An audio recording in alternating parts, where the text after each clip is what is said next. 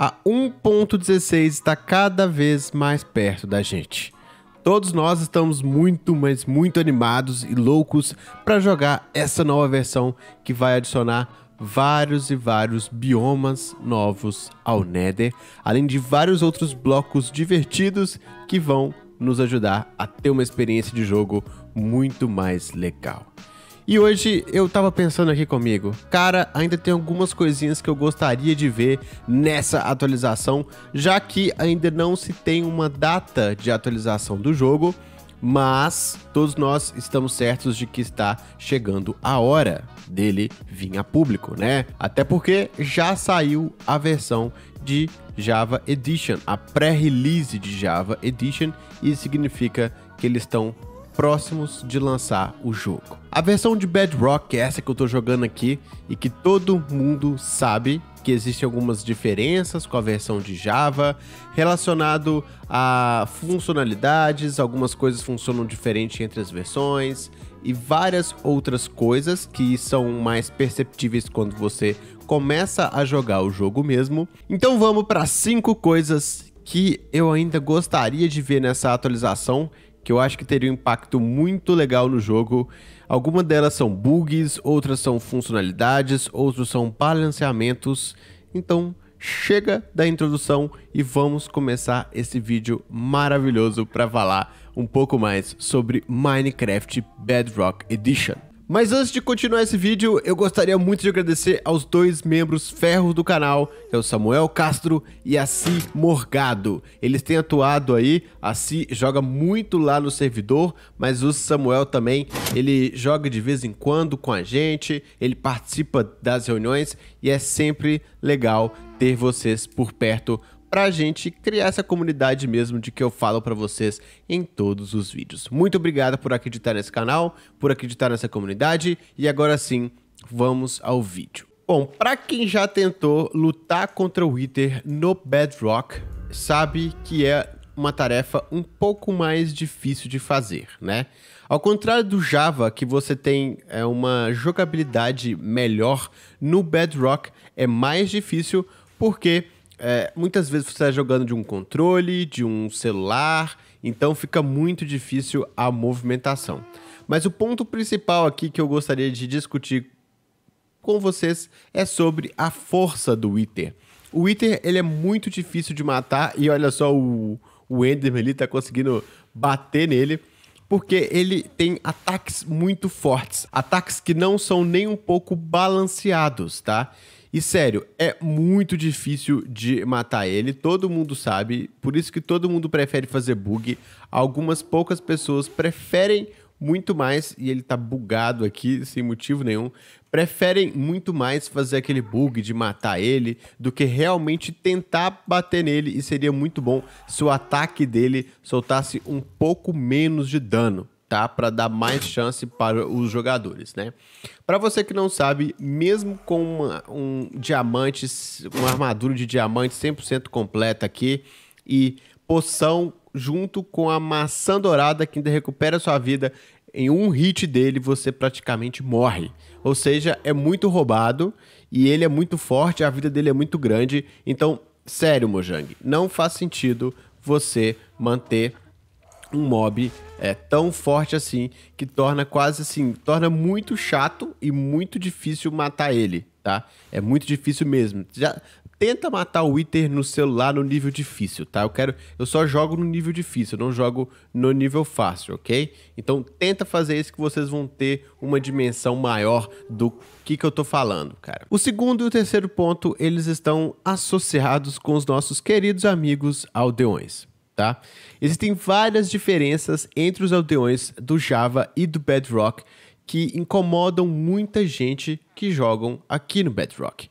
Uma delas é o fato desses aldeões, aqueles, esses seres que são utilizados para fazer várias farms, como de comida automática, de ferro, é, para trocar itens, eles simplesmente somem. Então você tem um aldeão que faz uma troca aqui muito boa, de repente ele some e você perde completamente aquela troca e tem que conseguir um outro aldeão. Outra coisa que é um bug muito chato que ainda não foi resolvido nessa versão tem a ver com a sincronização dos é, das profissões, né? Inclusive, teve uma atualização bem recente no Java que mudou essa regra. Agora, no Java, isso, isso não acontece no Bedrock ainda, quero deixar isso bem claro. No Java, o aldeão ele só pega a profissão quando ele chega perto do bloco e interage com esse bloco certo? Então, assim, ele não tem perigo de trocar a profissão, de perder a profissão aqui e de repente pegar a profissão lá do outro lado aqui, ó, que ele nem consegue acessar, certo?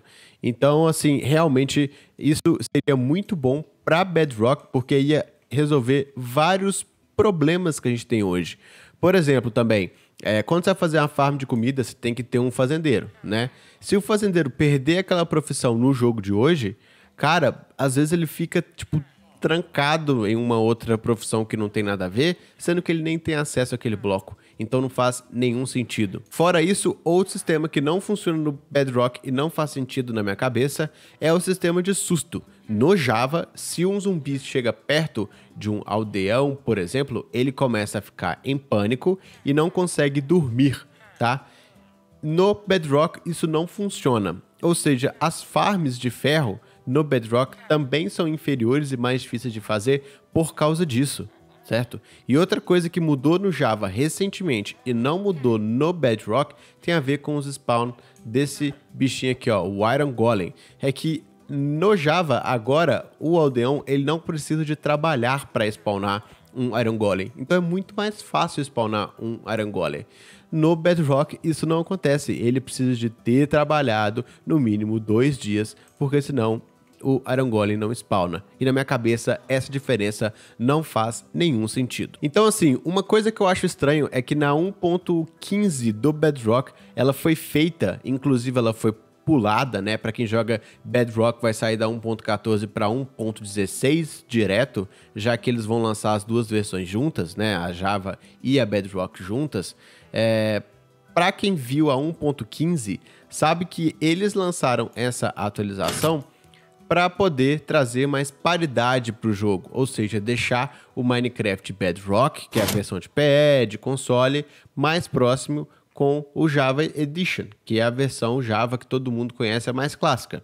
O problema é quando eles começaram a fazer várias alterações no Java e não trazer isso para Bedrock. Isso, na minha opinião, distancia muito mais as versões.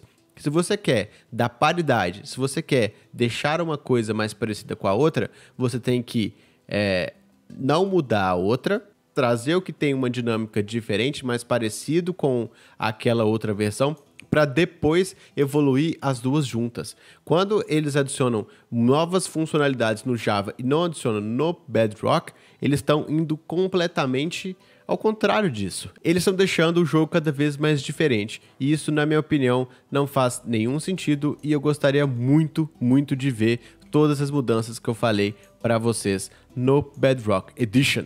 Outro bug muito chato e para quem joga nos servidores é algo assim que também me incomoda muito é a troca de skins. Quando você joga em servidores, igual a gente que tem os servidores dos membros ou até em Realms, isso acontece, quando um novo membro entra no seu jogo, você fica trocando de skin sem parar. Então vamos supor que você está jogando em um servidor igual o dos membros, que tem mais de 10 ou 15 ou 20 ou 100 pessoas online, você fica trocando de skin toda hora, cara. E esse é um bug que, na minha opinião, é muito simples de resolver, que o Java já resolveu isso há muito tempo e, infelizmente, isso acontece no Bedrock. Quando eu vou gravar um vídeo com algum amigo meu que eu estou jogando, eu abro o meu mundo para ele, por exemplo. É, isso acontece frequentemente e é um pouco cansativo você tem que ficar toda hora trocando a sua skin. O seu amigo tem que trocar a skin também até funcionar. Ou seja, por favor, Mojang, corrige isso, cara. E o último bug tem a ver com o local de spawn. Vamos lá, vou me matar aqui. Sou suicida, morri. Maravilha renasci aqui, ó. Esse aqui é o meu chunk de spawn. Beleza. No Java, assim que você spawna esse lugar aqui que a gente tá, esse chunk que a gente tá aqui, basicamente ele fica 100% carregado. Se a gente fizer uma farm de qualquer coisa aqui, ela vai funcionar toda hora, tá? Porque esse chunk vai ficar sempre carregado. No Bedrock não é assim, e isso impossibilita que a gente faça várias coisas no jogo, tá? E eu recebo muito essa pergunta de todos vocês aqui no canal. Se deu, assim como no Java, o Bedrock, ele funciona, o chunk de spawn, ele é 100% ativo? Então, eu gostaria de mostrar para vocês aqui que não é bem assim não. Ó, eu vou pegar esse baú aqui, vou encher de itens dentro dele, vou esperar um grande tempo lá fora, assim, longe daqui, descarregado daqui, e depois a gente vai voltar para ver se os itens realmente entraram nesse baú aqui. Se o chunk for carregado, logicamente, esses itens que tiver aqui vão estar todos aqui. Se não for, é claro que eles vão estar ainda passando. Então vamos jogar aqui dentro, é claro que alguma boa parte dos itens eles, eles vão passar. Então, vamos teletransportar e daqui a pouco a gente volta para ver se todos os itens é, foram passados com sucesso para aquele baú ali de baixo. Maravilha, já esperei um bom tempo aqui, vou me matar e se tudo der certo a gente vai spawnar lá. Aqui, beleza, spawnei e vamos ver se tá tudo aqui. Logicamente não, porque não é carregado.